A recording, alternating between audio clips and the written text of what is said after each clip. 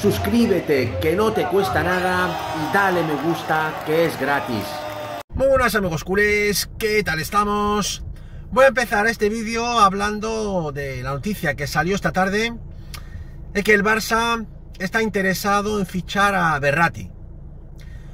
Obviamente es un bulo. Vamos a ver. ¿En qué cabeza entra que el Barça quiere fichar a Berrati? Con el overbooking que tenemos en el campo, ¿cómo que el club va a querer a un jugador como Berrati que ya está en la recta final de su carrera?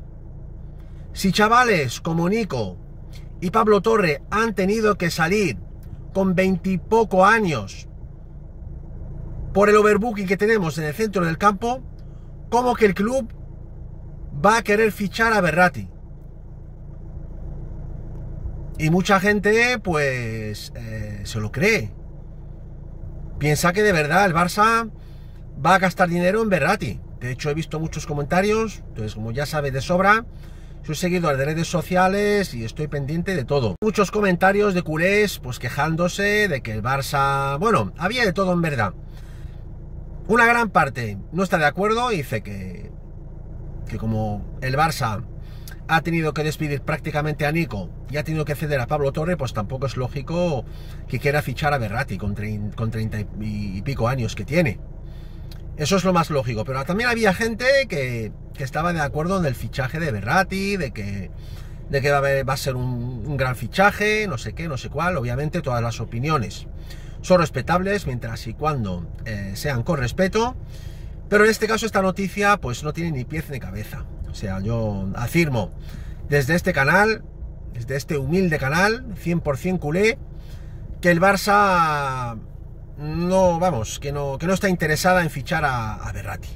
O sea, solamente una persona tiene que pensar un poco para saber que Berrati no tiene sitio en el centro del campo. ¿Dónde va a jugar? Si ahora mismo Gaby no tiene sitio. Si Xavi la próxima temporada de todo indica que va a jugar con el 4-3-3, ¿Dónde va a jugar Berrati? ¿A quién vamos a sentar? ¿A Frankie de Jong? ¿A Ilkay Gundogan? ¿El mejor centrocampista de Europa? ¿A Oriol Romeo? ¿El mejor pivote nato que tenemos en la actualidad? ¿A Pedri? ¿A quién tenemos que sentar si viene Berrati? Yo creo que hay que tener un poco de lógica.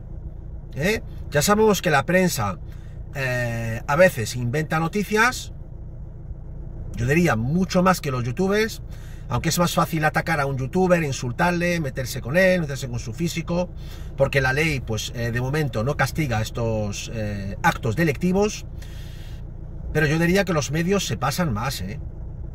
que muchísimas veces nosotros los youtubers nos limitamos a contar las informaciones que nos llegan o de nuestras fuentes o de algunos medios eh, que hemos tenido acceso a él. Ni más ni menos. Pero claro, es más fácil eh, insultar a un youtuber, meterse con él, etcétera, que hacerlo con un gran medio.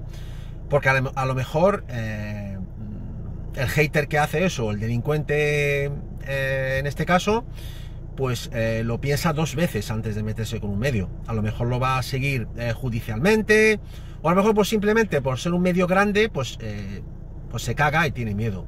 ¿Eh?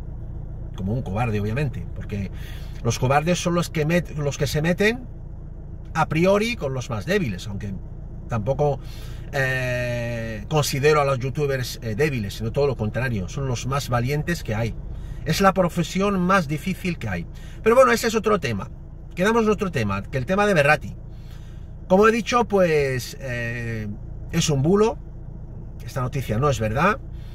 Y el Barça, pues no le interesa para nada, para nada el fichaje de Berrati. Así que este tema queda zanjado, ¿de acuerdo? Referente a la noticia de actualidad deportiva, pues eh, lesión grave de Courtois.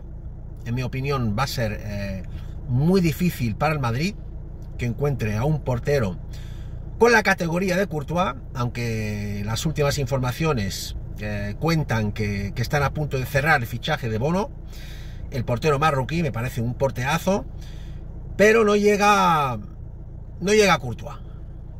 Obviamente habrá que verlo, cómo va a jugar y tal, Pero a priori y al principio creo que Courtois va a ser una baja muy sensible para Real Madrid. Recordemos que Courtois ha sido clave en todos los títulos que ha ganado el Madrid. Incluso la Champions League. Ha sido el verdadero héroe del Madrid en la Champions League. Con paradas cruciales, ¿eh? En semis, contra, contra, contra el PSG, ¿eh? contra el City, en la final contra el Liverpool. O sea, paradas de título, vamos. Y yo creo que, como sabéis, no va a jugar toda la temporada por la, por la, lesión de rodilla que tiene, muy grave. Ya, ya está operado, ya está en su casa. Obviamente le deseo una pronta recuperación. Pero repito, va a ser una baja crucial para el Madrid y sustituirlo va a ser una misión casi imposible. Otra noticia de actualidad es el tema de Kylian Mbappé y el PSG. O sea, sigue el pulso entre el crack francés y en este caso y el club de la capital francesa, el Paris Saint Germain. Eh, lo quiere vender o ceder y él como listo que es, porque Mbappé de tonto no tiene ni un pelo, ni la gente tampoco que le rodea, pues como obviamente le favorece quedarse, aunque sea en la grada, va a cobrar 60 millones netos del PSG y el próximo año, pues eh, sea, sea con el Madrid o sea con, con otro club, pues va a cobrar una super prima de fichaje, no sé, que será de 80 millones por ahí, y el sueldazo que también va a cobrar con su nuevo club la próxima temporada, sea el Madrid o sea otro club, aunque últimamente muchas noticias afirman que va a ser el Madrid, pero yo tengo mis dudas todavía. Tengo mis dudas.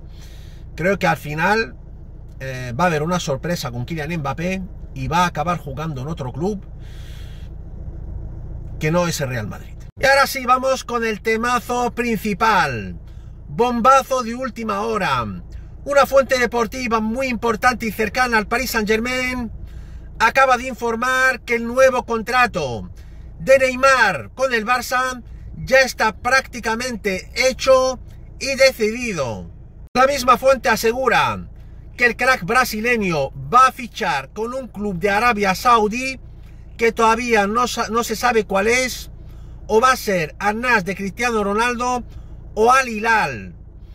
Pero Neymar en este caso no va a jugar de momento con el club de Arabia, es decir, que el club de Arabia Saudí, quien va a fichar a Neymar por un precio que rondaría los 120 millones de euros, lo va a ceder al Barcelona durante dos años. Firmaría al principio con el club saudí para cuatro temporadas, pero las primeras dos temporadas va a jugar en el Barcelona. Pero ahora viene lo más importante ¿eh? de este tema.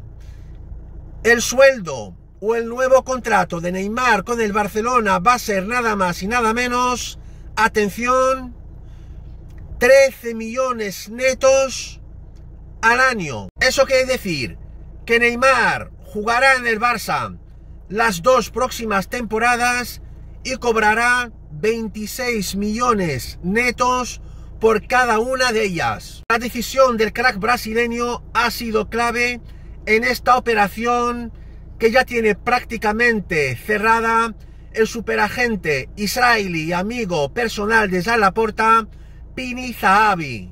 A mí me parece una grandísima noticia ver a Neymar de nuevo en el Barcelona para las dos próximas temporadas. Va a ser una auténtica gozada para muchos culés de todo el mundo y sobre todo para los verdaderos amantes del fútbol y la magia brasileña. Esta ha sido mi grandísima noticia de hoy, amigos culés. No os olvidéis suscribirse a mi canal, que no os cuesta nada. Pulsar un like como siempre y dejarme comentarios para cambiar opiniones. Muchas gracias. Forza Barça por siempre, vamos a por todas. Y nos vemos muy pronto en mi próximo vídeo. ¡Vamos!